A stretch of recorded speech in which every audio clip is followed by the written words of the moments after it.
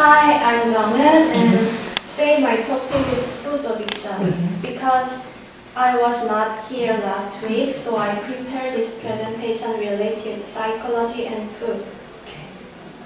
Here is contents. I talk about food addiction and compared with psychological hunger and physical hunger, and self-test about food addiction and treatment for food addiction. What is food addiction? Briefly, people who did a diet of hunger, it means not eating for food, for not eating food for losing weight. Mm. Uh, their pleasure, uh,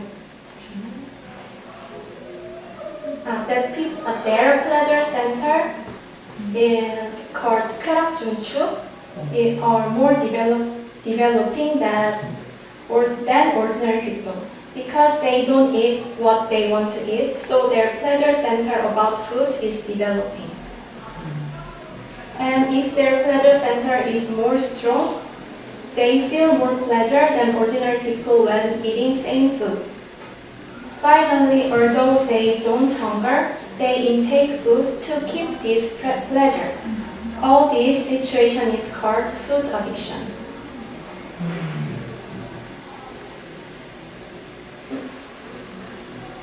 Here is two exper- experiments about fat addiction. First, eating water and fresh, fresh cream. When eating fresh cream, some reactions are found in brain, this spot, and these, uh, these reactions are in pleasure center. However, when eating water, any reactions are found in brain. Second one is mouse experiments.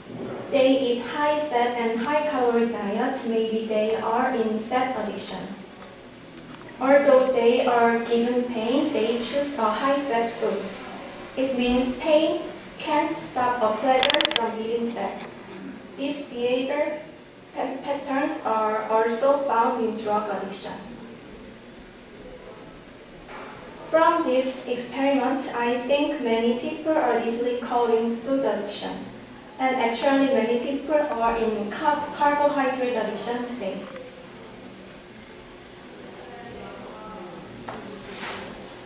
Mm-hmm.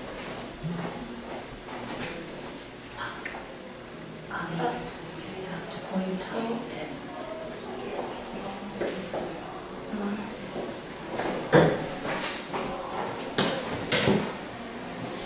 It's another part about food addiction related to psychology. People who are in food addiction can't, can't distinguish psychology hunger and physical hunger. Psychological hunger is not real hunger. It's a self-test about physical and psychological hunger. Um, psychological hunger has these three characteristics. Hunger comes suddenly and strongly wants a specific food and can't bear a hunger.